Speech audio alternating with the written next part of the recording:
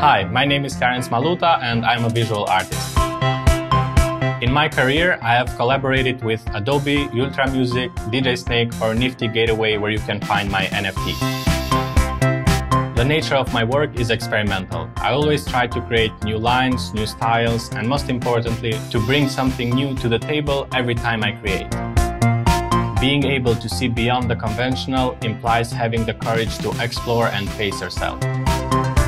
Portraits have always been a way of describing someone's mood or sensations without the need of saying a single word.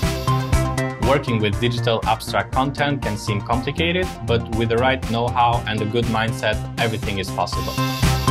Softwares like Photoshop and After Effects are the tools that make the impossible become reality.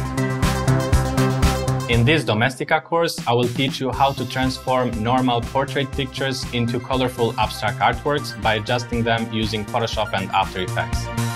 For your final project, you will create two digital abstract portraits in slightly different styles and one animated artwork. In the beginning, I will show you how different abstract portraits are made and how to get the resources that you need. I will also introduce you to the different tools that you will use. Then we will focus on the first portrait where I will teach you how to work with gradients, patterns, blending modes and stamp tool. Next, we will tackle the second portrait by removing its background in Photoshop and editing it in After Effects using Displacer Pro. After that, we will edit all the variations that we have created to animate it as a PNG sequence on After Effects. Finally, I will show you how to make your work more abstract and how to export it in different formats.